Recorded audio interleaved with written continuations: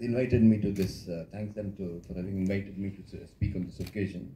Now, the basic thing in this uh, seminar is the relationship between film criticism and academic film study. This is uh, very important. Okay. Now, the point is, as Vidyashankar said, see, new disciplines uh, are formed.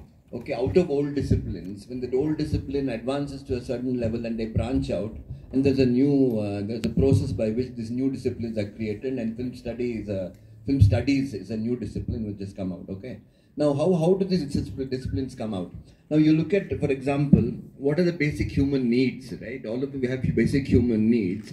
And um, for example, there's a need for food, okay, there's a need for uh, entertainment, there's a need for all kinds of things, of making stories, making images. So, cinema came out of the need to create images. And um, Okay, first of all, it became as a, recording of reality. Then it became a, need for expression, right? Through through the creation of images. The important thing is, okay, once once you, a certain need has been fulfilled in any any kind of any need has been fulfilled, then there's a there's a thing of achieving perfection in what you do, right? For example, with once the thing of uh, food is settled, then you start thinking of cooking. Okay, you start. So the, similarly, once you start, one a thing of a uh, succession of images was created from the Lumière brothers onwards to create. Then it created narrative and all that. So once what happens is, okay, this perfection is works at the level of skill. So the question is, you go on improving your skills, but at some point, okay, there is a, a need to theorize on the skill exactly how exactly for example to make a good movie okay? What what happens is how do you make a good movie? What are the essential components of cinema? What can cinema do okay? What can cinema do? How does one make a good film? What is essential to cinema? How does one tell a story? How does one make a recording to make it perfect to communicate whatever you want to communicate okay? What happens is at this level when it goes beyond the level of skill to generalize when you want to generalize what happens is that theori- theorizing on the nature of the uh, nature of the skill, on the nature of the thing, bec- becomes the first method, the first attempt at academic uh, thing. So, so you could say academic study in cinema began probably with the with the early theorists who started like people like Eisenstein, whom uh, Vidya Shankar mentioned, Vidya Eisenstein, Pudovkin, all these the Soviet, who actually had a certain theory how to go about it, how to make movies which are most effective, which are because they wanted to use cinema for propaganda. Okay, this is the fundamental thing. So how, how is cinema going to be used? After this, there were other people who went on refining it in various ways. There was a debate about it. All this was the early part of academic film study, when what cinema should be was most important. Now, as long as this was there, what cinema should be was was a thing. This this kind of theorizing on the nature of the essential nature of cinema, what cinema should do. There was not much of a difference between a film critic, what you could call a film critic. All of us are film critics here. Film critic and the film theorist. There's not very much difference. Both of them are only striving to produce good cinema. This is their fundamental um, aim is to produce good cinema, right? But what happens was, as this goes on, okay, once what happens is other other um, uh, other uh, disciplines start coming in. Earliest, when cinema was was basically an art, it began to be seen as an art, which is what Eisenstein Pudovkin, up in up to Bazin, André Bazin, the French uh, French theorist, French critic, come theorist, who had this magazine called the Cahiers du Cinema, was the editor. And out of his, uh, the French New Wave came over students of his, and they came out of that. Okay, till then this was this went on. But what happens when uh, and the early days when cinema was considered an art, what happened was the earliest people who entered cinema, okay, were basically from the literature section, from the English section. So you have a look at some of the, for example, early theorists, for not not really early theorists, the people who write on cinema. Robert Stam, Elsaesser, Thomas Elsaesser, these are all these sort of uh, academics on cinema who've written extensively. They're all basically from the English departments, from the literature departments, okay?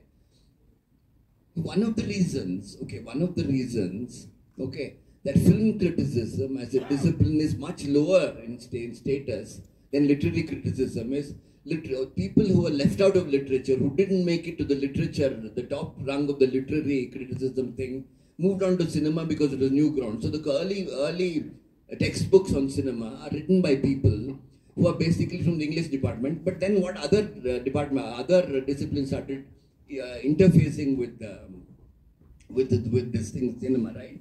You have politics. What are the things which should happen? What are the various other disciplines? Hermeneutics, philosophy, okay, ideology, politics, okay, psychology, ethnography, uh, then um, business and finance. For example, the thing of making a film, the financing of a film, the making of a film, the production of a film, the logistics going into making a movie, all this is now part of film studies, right? It will become part of that. Okay, so what happened was, once these things started coming in, you could very well say that there is not going to be much in common between the original film critics who are preoccupied with cinema as an art, appreciating cinema as cinema, right? That is the earlier, the, between them and those who are studying cinema as a means of communication. Now, if you look at cinema as communication, it would probably come from advertising cinema, right? How do you communicate in order to get your message across? Okay, motivational film, advertising film, that would be the basis of uh, this entire process of uh, you know communication. So now you look at, for example, you look at academic film study. You will have all these other disciplines coming in. It is no longer cinema as art. In fact, psychology, for instance, you want to study cinema as psychology. What happens is you're now looking at a completely different thing. You're looking at, for example, how cinema bears out your psychological theories. You're looking at very differently. People who study, who who are watching movies, who are actually appreciating movies, there's not much in common between those people and academics. There's not much in common between the way you can do this with any discipline. That's why I brought in food. For example, there's a politics of food. Okay, there is a politics of food. For example, now the question is this entire thing of whether the beef should be eaten, should not be eaten, whether pork should be halal or whether whether uh, meat should be halal or not halal or not halal. These are political issues, right? So what happens is the politics of food is a completely different thing from the thing of cooking, right? How to make good food, how to appreciate food, how to it's a completely different thing. Both of them start with the discipline of the need to eat, with the need to feed yourself, but they branch out in different ways. This is the thing. So what happens is academic study moves off into other areas. It moves off into territory which wasn't uh, uh, earlier. It, it, it, it comes into something else which is not much to do with filmmaking. In fact, I would say that filmmaking is very close to film appreciation. The original film, uh, French, uh, French uh, New Wave and all them, they were all film critics, they were not academics. So this is what generally happens. Okay, so that so that what happens in this process is there is a branching out, the different as, as a new discipline, as, as, as overlapping of disciplines, as new things start coming in. Literature will go into politics, cinema will go into politics, it will go into psychology, it will go into various things, including finance, economics, all this will come in.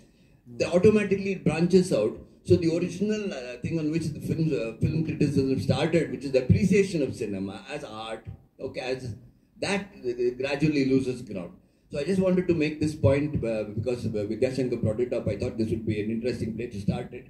So I mean, I'm thankful that uh, I was asked to speak first so that I've sort of laid out some kind of foundation. Now the others can please continue. Thank you.